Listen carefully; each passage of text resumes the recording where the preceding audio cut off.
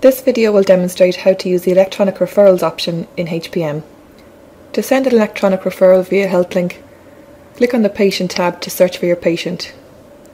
Click on the Search menu option and type in the details of the patient. Select the patient to open the health summary screen. Click on the Documents drop-down and select Electronic Referral.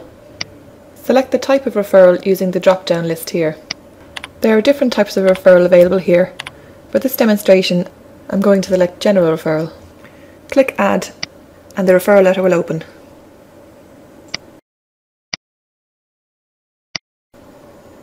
Select the hospital and the hospital unit.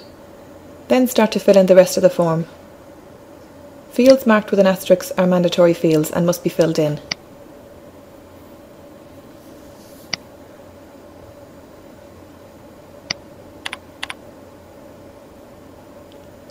As you make your way down the form, some fields may already be filled in. These will be pulled from the patient chart. History of presenting complaints will fill in with today's consultation note if relevant. This can be deleted or typed in as something new.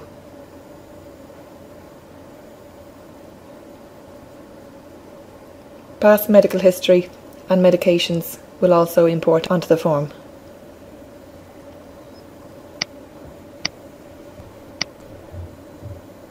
You can add lab results using the Add Lab option here. Select or search for the lab result and click OK to import onto the form.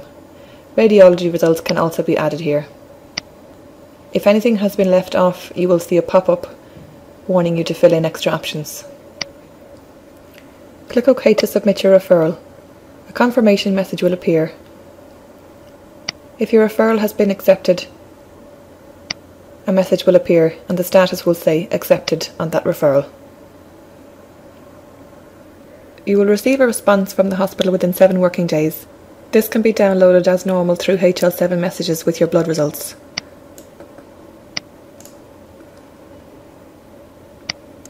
Once the response has been downloaded, it can be accessed through the patient menu in the HL7 messages option.